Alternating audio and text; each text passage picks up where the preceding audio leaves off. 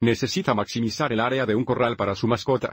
Sin embargo, hay un acantilado en un lado, por lo que solo necesita cerrar tres lados del corral. Entonces, si este es el corral, supongamos que esta línea roja aquí sería el acantilado para que no tenga que cercar este lado del rectángulo. Si tiene 1.200 yardas de cercado disponibles, ¿cuáles son las dimensiones del rectángulo con el área máxima y cuál es el área máxima?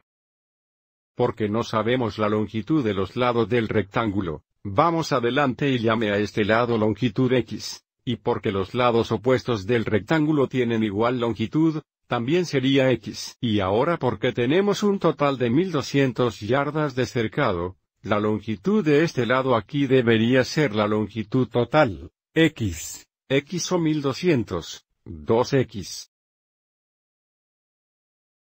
De nuevo esta longitud aquí hay una cantidad total de cercado menos la longitud de los dos lados aquí que es representada por 2x. Y ahora por el área de un rectángulo es igual a largos veces ancho, consideran que el área de este rectángulo sería es igual a x por la cantidad 1200, 2x.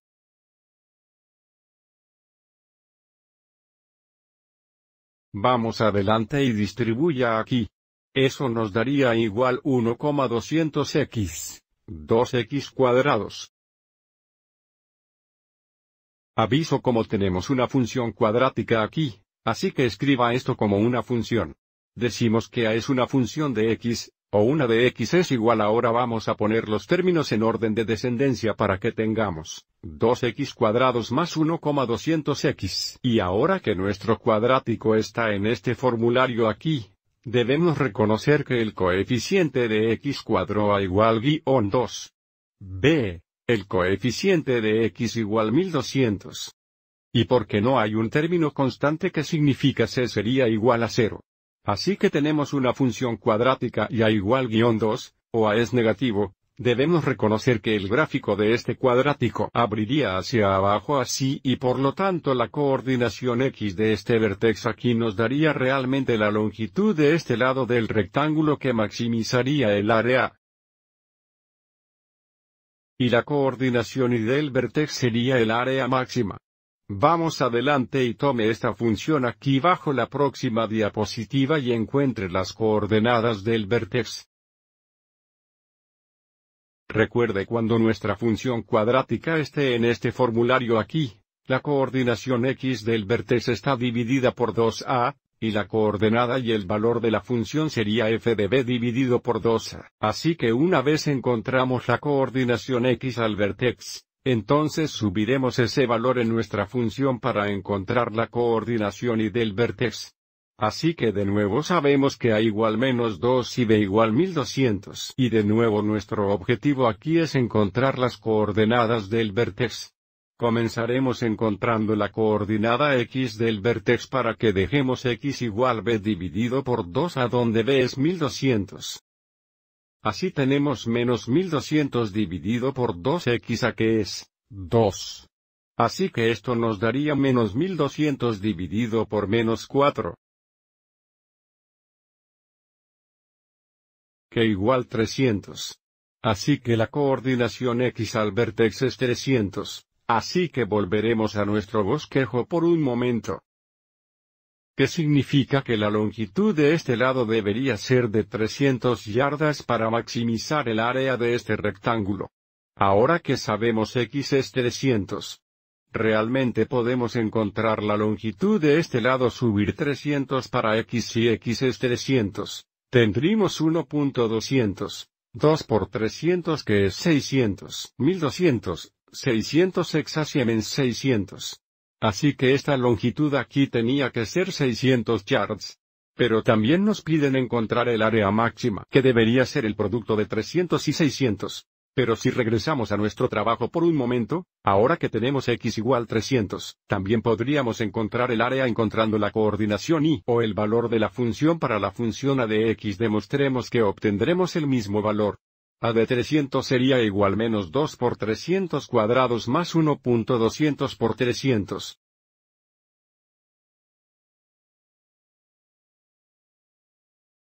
Así que esto sería 300 cuadrados, que es 90.000 x menos 2, menos 180.000 más 1200 por 300 sería 360.000. que es igual a 180.000. Y de nuevo para comparar, utilizando el rectángulo, sabemos que el área solo sería 300 por 600 patios cuadrados. Y por supuesto 300x 600 exasiem en 180.000.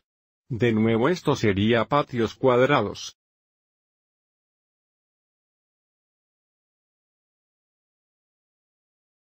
Tan solo para resumir, las dimensiones que maximizan el área serían 300 yardas por 600 yardas. Y el área máxima es de 180.000 patios cuadrados. Vamos adelante y verifique estos resultados gráficamente. Graficando nuestra función a de x para ahorrar tiempo ya lo he hecho. Aquí está.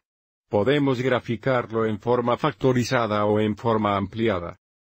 Pero aviso como el vértex aquí tiene una coordinación x de 300 que representa el ancho que maximizaría el área. Y luego coordinan 180.000, representa el área máxima.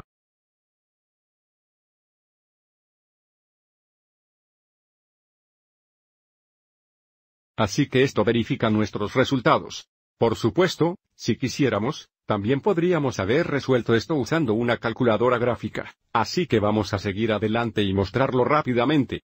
Por lo tanto pulsaremos igual, borrar cualquier función antigua y tipar en nuestra nueva función, ya sea en forma factorizada o forma expandida. Voy a escribir en 1.200x, 2x cuadrados, y tenemos que cambiar la ventana.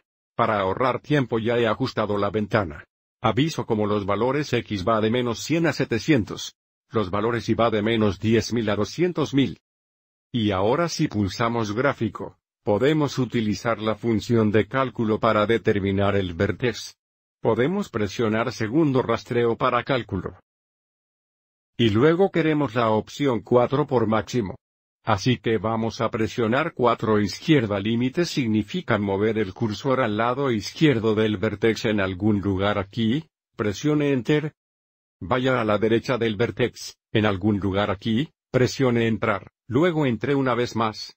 Aviso de que esa calculadora no es perfecta, necesitamos reconocer que esto representa un valor X de 300 y el valor Y es 180.000. Espero que encontraron esta explicación útil.